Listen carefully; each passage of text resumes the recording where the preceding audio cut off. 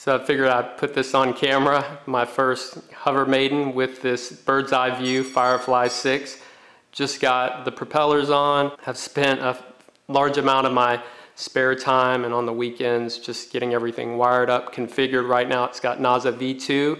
You'll see the Y6 configuration. Now there are still a few things I need to do. You'll notice the canopy cover isn't on there. I just haven't got everything laid out just yet. The nose cone isn't on. All right, so I'm gonna go ahead and arm. All right, so uh, here we go. Taking it about 50% with the NAZA and here, here, see what happens.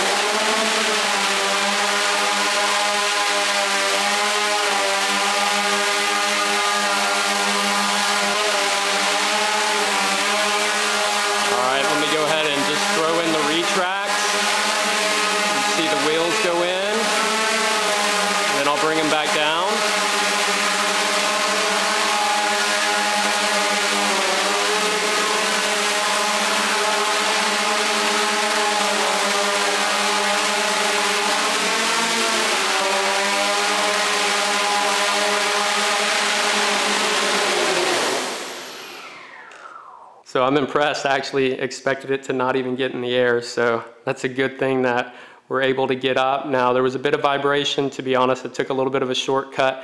I didn't get the propellers fully balanced, only did a few of them. I was just anxious.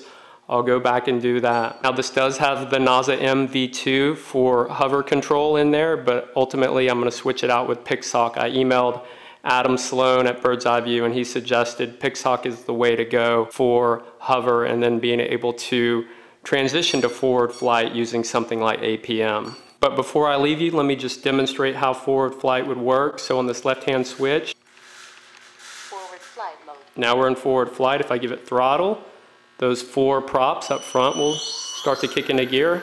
I have access to my flaps. And then I'd ultimately be able to fly it similar to what you would do with a wing. And then of course, just bring it down, back into hover mode, give it our stick sequence. Now it behaves in the Y6 configuration. And let me just leave you with one last tip. I'm new to the Y6 configuration, and on NAZA, your top motors will spin counterclockwise while your bottom ones are spinning clockwise. And originally I had mounted these bottom props flipped upside down, but what you actually want to do is have the label facing up. So both are facing up. Ultimately, I'm glad I didn't fly it that way and just something that I wanted to share. Now I'm going to work on getting that spaghetti all cleaned up and laid out nicely. I still have the QAV 500 PixHawk tuning video in the works. This weather just has been kind of relentless. So what I might do is a gain tuning with the Taranis in the garage. And ultimately, when the weather lets up, we'll do an auto tune. So just wanted to share that. Please be on the lookout. If you have any questions or comments about this setup, please post them below. And until next time, thanks for watching.